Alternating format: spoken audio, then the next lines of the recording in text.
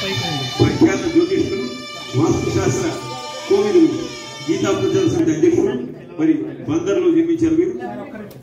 వీరి తల్లిదండ్రులు సత్యనారాయణ శాస్త్రి గారు తల్లి గారు అలవేలు మంగమ్మ గారు హిందూ కళాశాల మచిలీపట్నంలో గ్రాడ్యుయేషన్ చేశారు.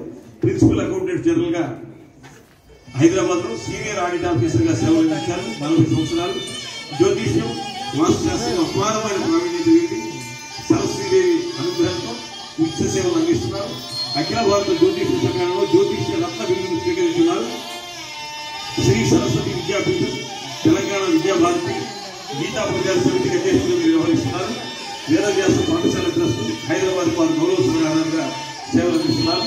వారిని శ్రీ కామరాజు గడ్డ బాబురావు శ్రీమతి గిరిజా సీతారామ జీవన సంబంధించిన పుస్తకాలను స్వీకరించవలసిగా మీ అందరి చప్పట్ల మధ్య వినమ్రపూర్వకంగా వేడుకుంటున్నాను.